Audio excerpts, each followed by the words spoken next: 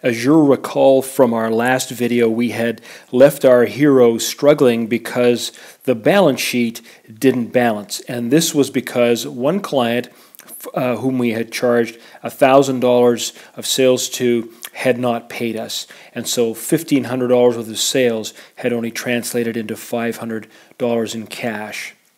Well, the statement of um, cash flows can help us. Let me just write out a little narrative so we can see what the story looks like.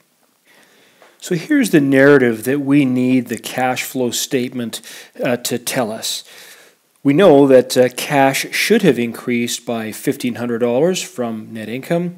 However, we agreed to let a customer pay us $1,000 next month. And by the way, we know what this, when we allow a customer to pay us uh, a month or two from now, that that is an accounts receivable. And so the cash flow statement is uh, all of, already telling us uh, where the money went. The money went up here in accounts receivable, which increased by $1,000. And that means that our assets total now goes from 500 to $1,500. And so this immediately tells us or shows us that our balance sheet is now in balance. So the cash flow statement has already solved um, our particular problem. Now let me keep going and rewrite the cash flow statement in a way uh, that's more formal.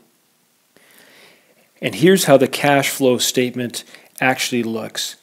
The chapter heading, Cash from Operations, net income should increase cash by $1,500, but it decreased uh, because it went to accounts receivable. There's a minus $1,000.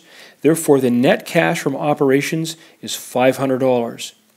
We uh, take a look at the cash at the start of the month, which was zero, and then you add the $500 that came in during the month, leaves cash at the end of the month of $500. And that exactly matches the balance sheet account, which leads me to my next point, which is that the statement of cash flows fits perfectly between the income statement and the balance sheet.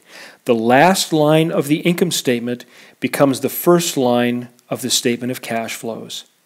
And the last line of the statement of cash flows becomes the first line of the balance sheet. It's just perfect. You're doing a great job. Just a couple of more videos, and then we're done.